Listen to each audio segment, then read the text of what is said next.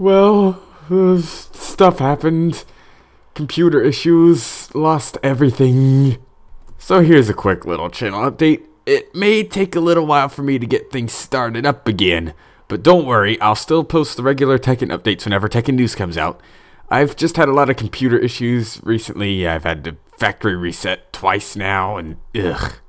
And I lost everything. All my backup footage, like the Tekken Tag Tournament 2 footage I use when I give the Tekken News.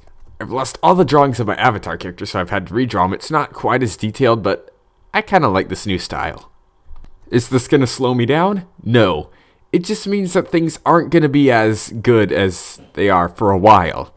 Like, I'm still going to try the best I can.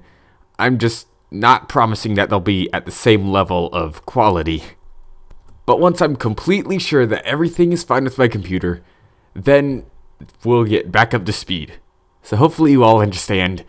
Just computer issues, nothing more. Uh, yep, that's pretty much it.